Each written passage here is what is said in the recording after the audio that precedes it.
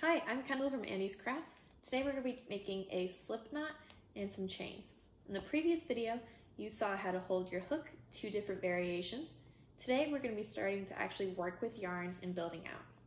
Chains are what is the foundation of crochet. Let me show you. When I say slip knot, I really mean the most generic slip knot. You probably already know this knot. You probably already know how to do it.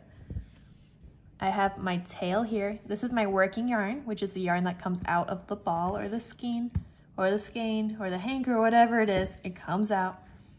This is the tail. I have my tail over here. I'm gonna pick up my yarn and we're gonna make a twist.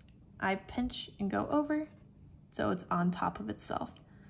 Then you're gonna pull through your yarn and tighten. And that's how you make a slip knot. It should slide out easily. And again, pinch and twist, and then grab it, grab the yarn right next to it, and pull.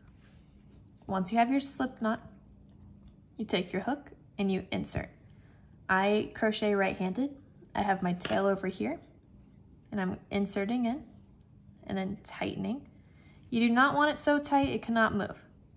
You do not want it so loose that it just easily falls out. You want it to be snug.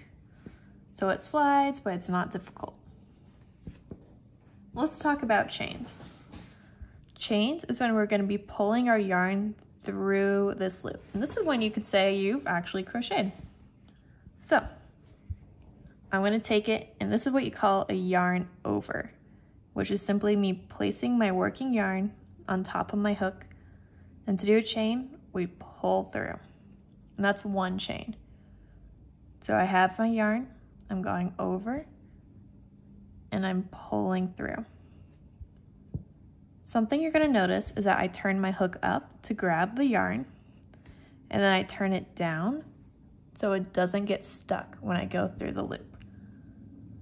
So I'm grabbing and twisting all the way through. And then when you read a pattern, it's going to say chain 20, or sometimes if you're making a blanket, it says something like chain 100 or 200. And you would just do this. Each pull through is one chain. And then when we're ready in the next video, I'm going to show you how to put single crochets into these chains. But you can officially say you've crocheted. If you want to fasten off, which simply means being done with this piece and doing something with the ends, Normally, if we were crocheting more, we would not. We would just leave it on the hook. But if you want to save a sample, you're going to cut your yarn. This is my working yarn. I just cut it. And then you're going to pull through. And then I tighten my chains a little. Pretty easy, right? You just have to make a slip knot, put it on your hook, and then pull the yarn through.